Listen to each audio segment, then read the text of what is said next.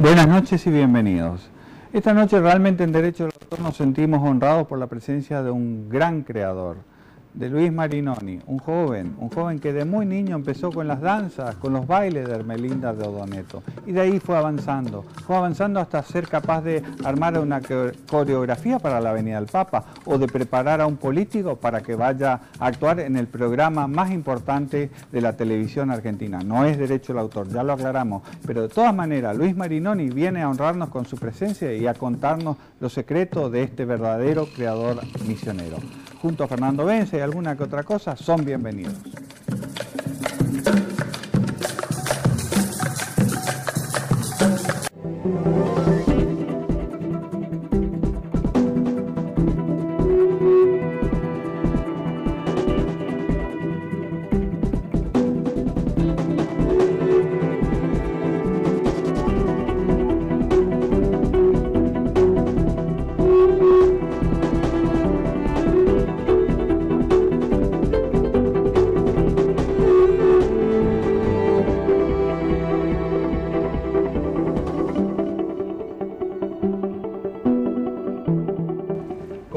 Decíamos, tenemos a Luis Marinoni y le damos la bienvenida a este verdadero artista misionero. ¿Qué tal, Luis? Bueno, muchas gracias por, todos estos elogios. Son merecidos y ganados, no somos de andar regalando elogios como los dulces de la Semana de la Dulzura. Realmente te los ganaste porque sos alguien de acá, sos misionero, sos posadeño, tengo entendido, y de acá estás proyectándote al mundo, ¿puede ser? Sí, un poco esa era, es como mi idea cuando terminé mi ciclo en el Ballet Folclórico Nacional es como que había pensado mucho, pensaba mucho, bueno, a ver cómo, cómo va a ser mi vida después de esto, porque uno de los temores más grandes que uno tiene cuando, cuando forma parte de un, de un, de un cuerpo estable es la desestabilidad. El riesgo, el riesgo. De, tirarse al vacío. Exactamente. Bueno, eh, entonces asumí ese compromiso que tiene que ver con, con, con, tirarse a ese espacio, pero elegí volver a mi provincia, ¿no? Y desde acá disparar. Estás en Buenos Aires, no sé qué año, pero sé que fue hace poco. Y si podemos ir para atrás, ¿qué era? El, el niño Luis, ¿cuándo, en qué momento se fascina con, con las danzas argentinas, con eh, eh, argentinísimas, según tengo entendido, que mirabas a el Chúcaro y Norma Viola, todo eso. ¿Cómo fue que surgió eso? Bueno, y yo era muy chico, ¿no? Era muy chico, tenía seis años, pero ya, ya miraba las películas argentinísimas que pasaban en la televisión. Y bueno, y que de hecho los tengo las películas. Y siempre quedaba como encantado con las puestas de Norma Viola y del Chúcaro, ¿no? Es que como que siempre me sentí como, como muy a gusto con todo esto. Ese era tu modelo. claro, con la composición de las cosas, con la forma, ¿no? Y ese siempre fue mi modelo. Llegar al Ballet Folclórico Nacional y tener la norma, porque bueno, Chúcaro ya había fallecido en aquel entonces, hacía cuatro años que ya no estaba, pero bueno, me quedó norma y me quedó la parte más, más fuerte, porque yo creo que entre los dos eh, bueno, eh, Santiago Ayala tenía la parte creativa, esa cuestión de la idea, ¿no? Pero eh, sin alguien que, ponga en, el cuerpo de los bailarines esa idea, es imposible también, porque uno puede tener muchas ideas, pero hay que plasmarlo, ¿no? Y e, ese era el aporte de Norma Viola. Sí, totalmente. Y después, digamos, de empezar a hacer tus primeros bailes acá, estuviste, tengo entendido, en la Peña Itapúa en varios lugares, ¿no? Sí, sí, sí. ¿Cómo fue ese recorrido? ¿Fue difícil? ¿Fue lento? ¿Fue más veloz de lo que vos esperabas? Fue muy rápido. Muy rápido. Fue muy rápido. yo eh, cerré los ojos y cuando lo volví a abrir ya se me había pasado como la vida entera, ¿no? Y Así, un, flash, sí. Bueno, yo de muy chico, a los 16 ya tenía ganas de hacer cosas un poco diferentes y bueno, entonces fui creando mi, mi, propio espacio, ¿no? Y ahí con talleres, con chiquitos, donde, donde podía juntar dos o tres lo hacía, ¿no? Y meta baile, meta Y meta baile. Y le decía, bueno, vos, vos haces de fuego, de fuego, por ejemplo. me miraban como diciendo, ¿cómo ya, ¿qué hago? ¿Bailo un gato o hago de fuego? ¿Cómo, ¿Qué es esto? o traigo una brasa. Me dicen que tenemos algo de lo que has producido recientemente, el arcano. A ver si lo podemos ver, ¿te parece? Sí, cómo no, a ver.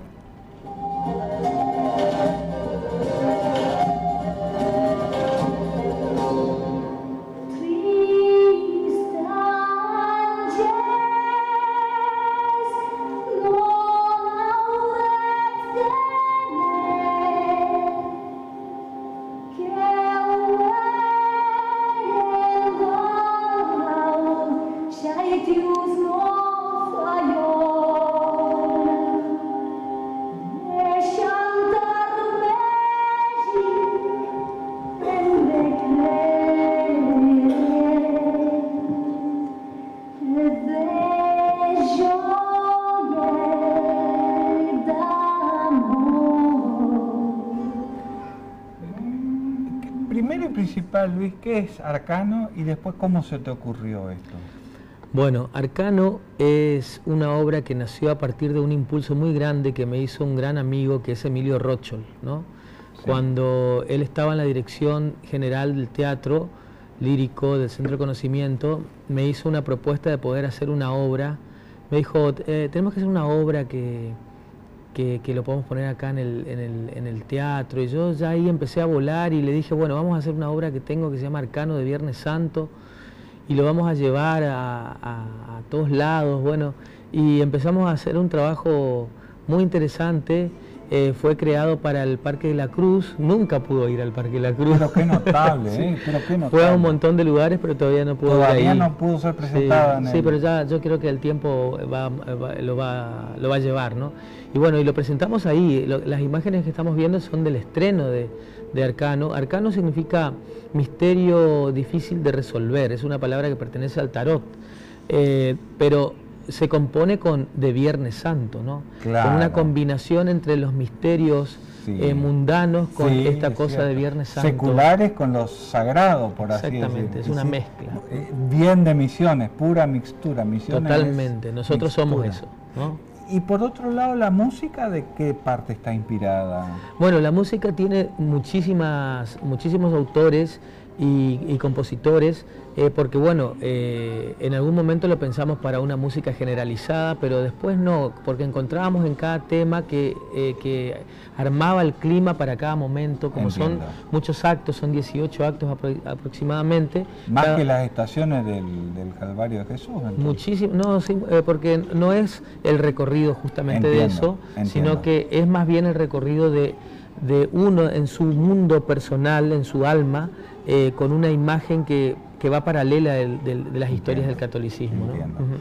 De hecho, entonces, para todos los cristianos y aún para los no cristianos puede ser una obra perfectamente atendible, digamos. Sí, totalmente, totalmente. Eh, eh, está construida desde ese lugar, desde la espiritualidad más que nada. ¿no? Tiene imágenes que tienen que ver, obviamente, con este choque cultural barroco guaraní que es que somos nosotros. Somos nosotros, es Pero esencia. La espiritualidad es humana.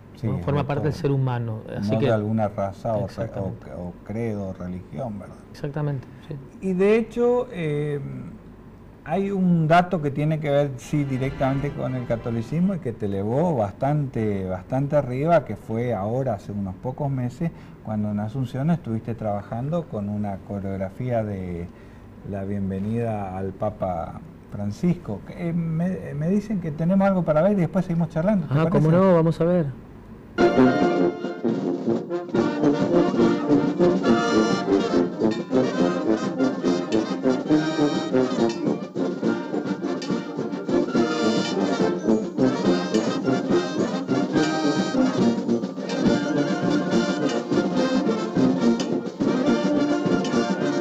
Con este himno popular paraguayo, el campamento Cerro León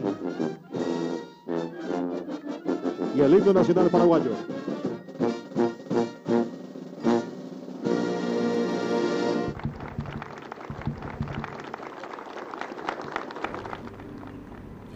Vos tenés antecedentes de familiares de origen paraguayo, ¿verdad? Sí, toda mi familia. Toda tu familia. Toda mi familia. Por eso hay una estrecha relación con, el Paraguay. Yo quiero mucho el Paraguay, trabajo hace mucho tiempo allí y, tengo una conexión muy intensa con no solamente con la gente, sino con, todo lo que implica la cultura, ¿no? O sea, la música. Eh, bueno, uno tiene que, cuando al trabajar de esto es como que uno necesita un poco eh, todo ese tipo de conexiones con la tierra, ¿no? no solamente de acá, de nuestra zona, sino que trato de disfrutar en todos los lugares donde he ido, trato de disfrutar eso. Mm. Esto habrá sido una gran satisfacción en lo personal, me imagino. Sí, sí, sí. Fue muy fuerte porque porque bueno, estuvimos ahí... Eh, ¿Vos estabas ahí en el, en el, lugar cuando se hace la presentación? Sí. claro, ahí a lo último se nos ve con Susi que, que, salimos a saludar. Ella es la directora del ballet y yo soy el coreógrafo. Eh, eh, compartimos las, escenas coreográficas. acá, por ejemplo, yo voy armando lo que, todo lo que tiene que ver con el concepto, por ejemplo, las imágenes visuales, la fotografía de estas cosas, por ejemplo, que tienen que ver con, con la información que, produce la danza al espectador. ¿no?